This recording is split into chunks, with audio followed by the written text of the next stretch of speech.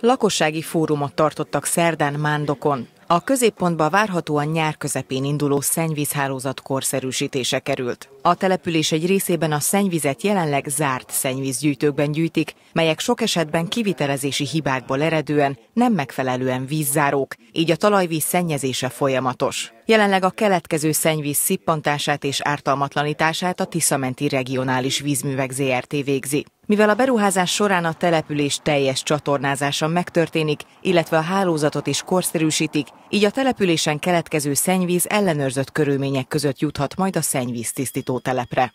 Nagyon örülök, hogy egyáltalán eljutottunk most már ehhez a fázishoz, több mint két éve várjuk, hogy meg tudjunk indítani ezt a összesen 10 településnél 7,2 milliárdos beruházású projektet.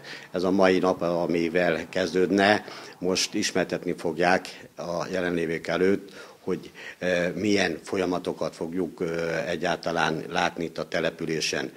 E, úgy néz ki a 19 áttemelőből, ami a településen, a városban működik, 10 fog maradni, 9-et megszüntetnek, és gravitációval fog történni ennek a műveletnek a végzése, ami azt jelenti, hogy minden utcába végeredményben fel lesz turva a település, és azt jelenti, hogy a, amikor ennek bizonyos utcákban végeztünk, van egy 240 milliós csapadékvíz fejlesztésünk is, akkor ott már megtörténik annak is a helyreállítás a csapadékvíz elvezetéssel, és utána kerülne sor majd az utaknak a rendbetételére. A projekt célja alapvetően két részből tevődik össze. Az első a csatornázatlan területek szennyvíz csatornázása, a másik pedig a meglévő szennyvíz csatorna hálózat rekonstrukciója. Tekintve, hogy kilenc darab átemelőt megszüntetnek, illetve kiváltanak a gravitációs csatornahálózattal, a szennyvíz hálózatban való tartózkodási ideje is csökken. Ennek következtében elkerülhető a szennyvíz berothadása, így kedvezőbb tisztítási hatás fog érhető el a szennyvíztisztító telepen, valamint hálózatüzemeltetési szempontból is ideális feltételeket teremthet. A szennyvíz megfelelő mértékű tisztítása után a tisztított szennyvíz ártalommentesen jut el a befogadóba, amely mind közegészségügyi, mind környezetvédelmi szempontból is érdek.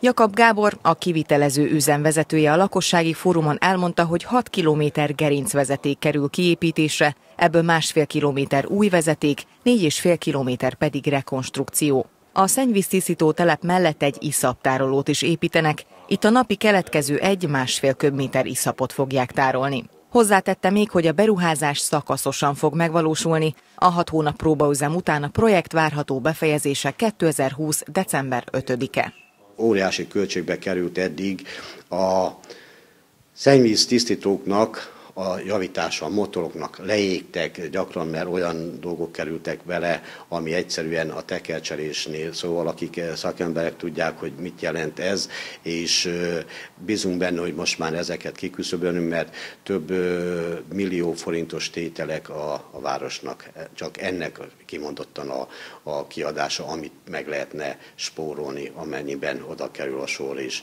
nem csak olyan dolgokat dobálnának bele a, a szennyvízbe, ami, ami nem odaillő.